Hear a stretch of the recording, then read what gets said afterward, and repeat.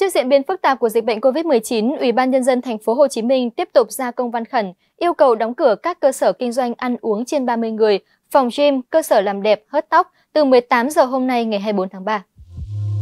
Chiều 24 tháng 3, Phó Chủ tịch Ủy ban nhân dân thành phố Hồ Chí Minh Lê Thanh Liêm có văn bản khẩn gửi các sở ngành về việc tạm ngừng các hoạt động giải trí trên địa bàn trong thời gian dịch.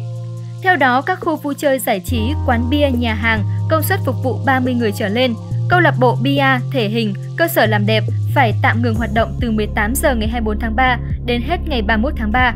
Quyết định này đưa ra sau cuộc họp của Ban chỉ đạo phòng chống dịch COVID-19 tại phiên họp tối qua ngày 23 tháng 3 và đề xuất của Sở Văn hóa Thể thao Thành phố Hồ Chí Minh trong sáng cùng ngày 23 tháng 3. Trước đó, ngày 14 tháng 3, Ủy ban nhân dân thành phố Hồ Chí Minh đã yêu cầu ngừng hoạt động các dạp chiếu phim, quán bar, game online, điểm massage, karaoke, vũ trường, sân khấu kể từ 18 giờ ngày 15 tháng 3 đến hết ngày 31 tháng 3. Theo Trung tâm Kiểm soát bệnh tật thành phố Hồ Chí Minh, đến ngày 24 tháng 3, thành phố có 29 trường hợp nhiễm COVID-19, trong đó có 3 ca khỏi bệnh, 26 ca đang được điều trị. Tình hình sức khỏe của các bệnh nhân hiện tại ổn định. Ngành y tế đang theo dõi sức khỏe của 1.526 trường hợp tiếp xúc với các ca bệnh.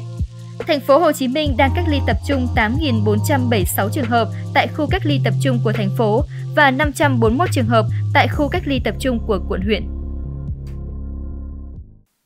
Mục đích đóng cửa nhằm đảm bảo an toàn tuyệt đối trong công tác phòng dịch trên địa bàn thành phố. Ban đầu sẽ gây khó khăn cho các doanh nghiệp, cơ sở kinh doanh, nhưng việc làm này là cần thiết để công tác kiểm soát dễ dàng hơn, tránh dịch lan rộng.